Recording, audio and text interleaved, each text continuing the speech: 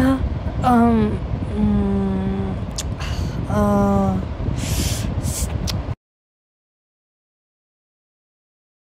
Hi, my name is Aleft.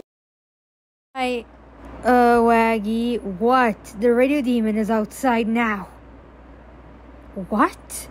Oh, I don't know what to do. Don't let him in.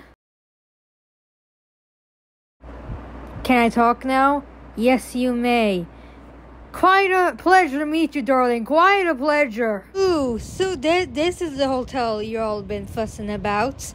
It's splendid, absolutely amazing. I could fix furniture here. I can make it a little more better, you know. I can make it way better. Do not trust you, demon. You're gonna hurt us, aren't ya? I know you are. You're gonna hurt. You're gonna hurt me and my friends. Ah. Oh, darling, if I wanted to hurt somebody, I would.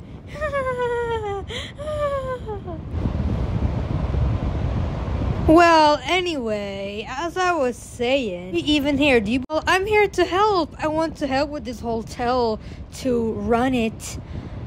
Yeah, I hear you, sir.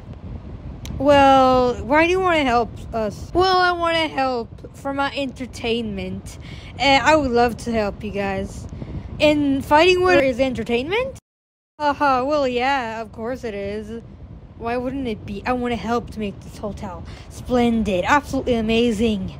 I'll make it so amazing that everybody will come, and I want to help you guys. It'll be so fun to run this hotel. Um, why do you want to help? Do you believe that demons can have second chances? Ah, darling, that is just a full of crap. That's not even true.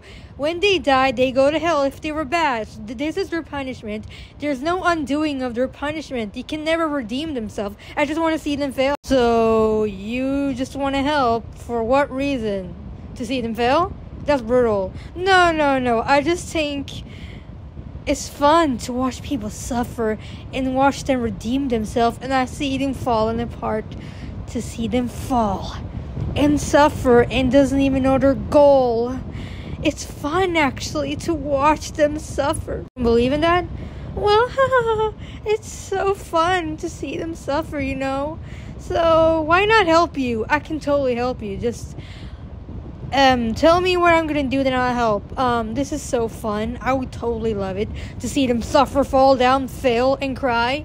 Well, okay. Um, well, show me around, Missy.